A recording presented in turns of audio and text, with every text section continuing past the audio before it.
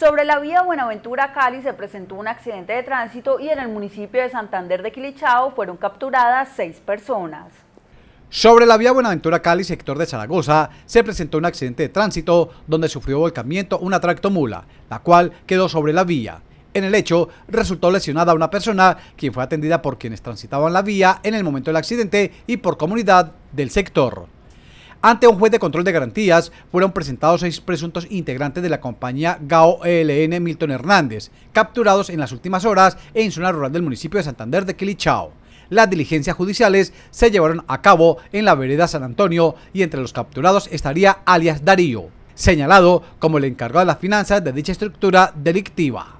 William Ortado Loaiza, CNC Noticias Buga.